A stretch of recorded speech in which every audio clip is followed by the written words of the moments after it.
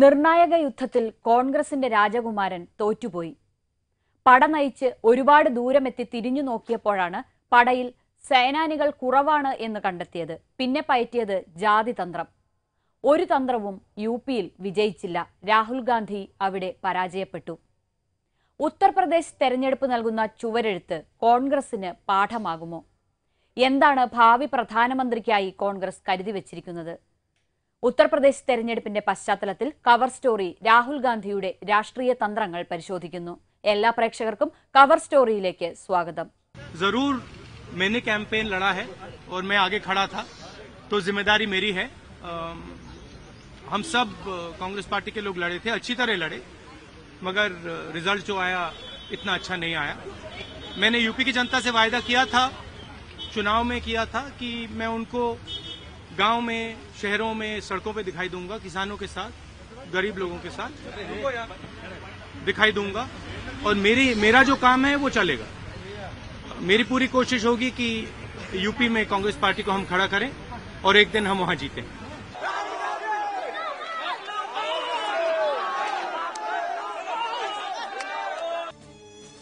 മൂന്ന് മാസം ഇരുന്നൂറ്റി ഇരുപത്തിയൊന്ന് റാലികൾ റോഡ് ഷോകൾ വേറെ ഇത്രയൊക്കെ ചെയ്തിട്ടും രാഹുൽ ഗാന്ധിക്ക് ഉത്തർപ്രദേശ് പിടിക്കാനായില്ല.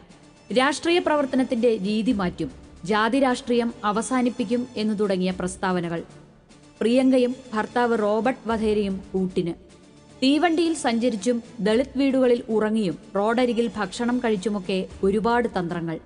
ഭരണം കിട്ടിയില്ലെന്നതോ പോട്ടെ രണ്ടാമതെത്താൻ പോലുമായില്ല കോൺഗ്രസിന് യു പിയിലെ പരാജയം കോൺഗ്രസ് പാർട്ടിയുടെ പരാജയമാണ് സംശയമില്ല. പക്ഷേ തന്ത്രങ്ങൾക്ക് ചുക്കാൻ പിടിച്ച രാഹുലിന്റെ വ്യക്തിപരമായ വൻ പരാജയമായി അത് उस राज्य में राहुल जी को वहां भेजा गया था इस बात को मा, उस मानक को देखने के लिए उसे मापने के लिए कि आखिर वो कितनी गहराई तक उत्तर प्रदेश के राजनीति में स्थापित हैं मुझे लगता है उत्तर प्रदेश के लोगों ने उनकी देश की स्थिति पर उनकी जानकारी उनको दे दी പ്രാദേശിക പാർട്ടികളെ കാര്യമായി പരിഗണിക്കേണ്ടതില്ല എന്ന തന്ത്രമാണ് രാഹുൽ ഗാന്ധി പയറ്റിയത് അന്തരിച്ച വൈ എസ് രാജശേഖര റെഡ്ഡിയോ മകൻ ജഗൻമോഹൻ റെഡ്ഡിയോ പോലെ പ്രാദേശിക തലത്തിൽ വലിയവരാകുന്നവരെ അവഗണിക്കുന്ന തന്ത്രം ആ തന്ത്രം ഇതുവരെ വിജയിച്ചിട്ടില്ല എങ്കിലും ഉത്തർപ്രദേശിലും രാഹുൽ ഗാന്ധി പരീക്ഷിച്ചത് അതേ തന്ത്രം തന്നെയാണ് ദയനീയ പരാജയം ഒരിക്കൽ കൂടി Nobody projected Rahul Gandhi ji. He led us, led us from the front. He's our leader.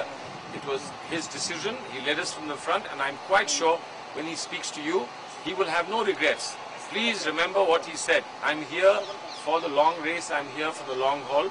He has already made a difference to Uttar Pradesh. He may not have made a difference to our comfort level in terms of number of seats that we would have liked to see, but he's made a difference to Uttar Pradesh, and I think anybody who understands Uttar Pradesh will have to admit this. और जिस तरह का चुनाव प्रचार कांग्रेस कर रही थी उससे लगता था जैसे यूपी में 400 सीटों में से 800 सीटें ले जाएगी इतना हाइप इतना हाइप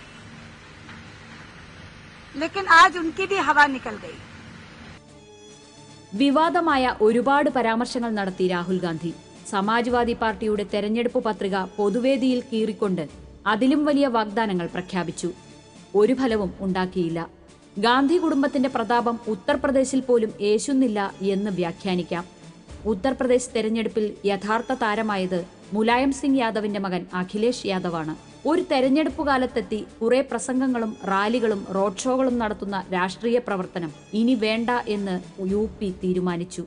ഗുണ്ടകളുടെയും അഴിമതിക്കാരുടെയും പാർട്ടി എന്ന പ്രതിച്ഛായ കഴിഞ്ഞ അഞ്ചു വർഷത്തെ നിരന്തര പരിശ്രമം കൊണ്ടാണ് അഖിലേഷ് യാദവ് മാറ്റിയെടുത്തത്.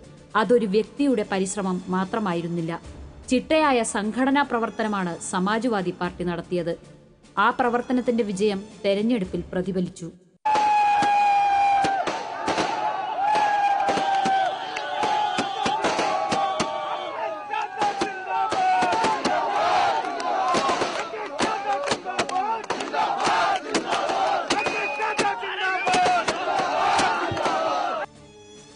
കോൺഗ്രസിന്റെ പതനം അപ്രതീക്ഷിതമല്ല. വ്യക്തിപ്രഭാവം കൊണ്ട് നേട്ടമുണ്ടാക്കാവുന്ന കാലം പണ്ടേ കഴിഞ്ഞെന്ന് മനസ്സിലാക്കാത്ത രാഷ്ട്രീയ തന്ത്രമാണ് കോൺഗ്രസിന്റെ ബലഹീനത.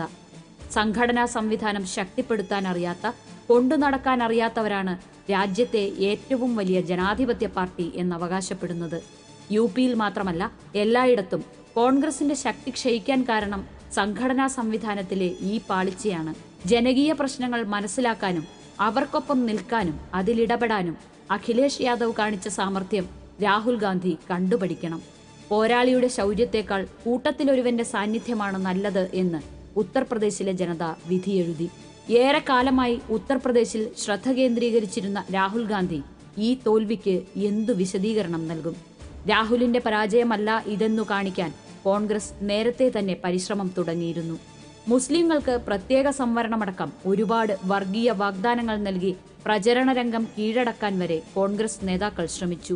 കാലം ഇത്രയായിട്ടും ഉത്തർപ്രദേശ് രാഷ്ട്രീയം കോൺഗ്രസിന് വഴങ്ങിയിട്ടില്ല.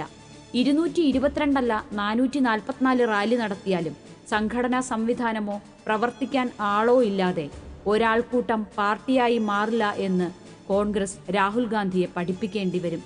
ഒരു സംസ്ഥാനത്ത് പാർട്ടിയെ വളർത്താനോ സർക്കാർ ഉണ്ടാക്കാനോ കഴിയില്ല എന്ന് തെളിയിച്ച ഈ രാജകുമാരനാണ് ഭാവി ഇന്ത്യക്കായി കോൺഗ്രസ് കരുതിവെച്ച പ്രധാനമന്ത്രി. രാഹുൽ പ്രധാനമന്ത്രിയാകാൻ ഇപ്പോൾ തന്നെ ഏറെ വൈകി എന്ന് കരുതുന്ന സ്തുതിപാഠകർ ഇതൊക്കെ കാണുന്നുണ്ടോ? പ്രതിഭാവേട്ടയും നോമിനേഷനും ഗ്രൂപ്പുകളിയുമല്ല ഒരു പാർട്ടിയെ വളർത്തുന്നത് എന്ന് രാഹുൽ ഗാന്ധിയെ പഠിപ്പിക്കാൻ പഴയ കോൺഗ്രസ് നേതാക്കളെങ്കിലും ധൈര്യം കാണിക്കണം.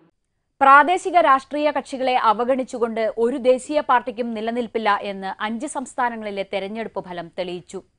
ഗാന്ധി കുടുംബത്തിന്റെ പ്രഭാവം കൊണ്ട് വരും കാലത്ത് പിടിച്ചു നിൽക്കാൻ കോൺഗ്രസിന് കഴിയില്ല. അല്ലെങ്കിൽ ആ പ്രഭാവം തന്നെ ഇല്ലാതായി കഴിഞ്ഞു എന്ന് ഉത്തർപ്രദേശ് ഒരിക്കൽ കൂടി തെളിയിച്ചു. ഈ രാഷ്ട്രീയ സ്ഥിതി ദേശീയ തലത്തിൽ എങ്ങനെയായിരിക്കും പ്രതിഫലിക്കുക? രാജ്യസഭയിലും വരാനിരിക്കുന്ന രാഷ്ട്രപതി തെരഞ്ഞെടുപ്പിലും പ്രാദേശിക രാഷ്ട്രീയ കക്ഷികൾ ഉയർത്തുന്ന സമ്മർദ്ദം കോൺഗ്രസിനെ എങ്ങനെ ബാധിക്കും? കേന്ദ്ര സർക്കാരിന്റെ നയങ്ങളെയും തീരുമാനങ്ങളെയും ഈ സ്ഥിതി എങ്ങനെയാണ് പ്രതിഫലിപ്പിക്കുക? വരുംകാല ദേശീയ രാഷ്ട്രീയം കലങ്ങി മറിഞ്ഞതായിരിക്കും എന്ന് ഉറപ്പ്.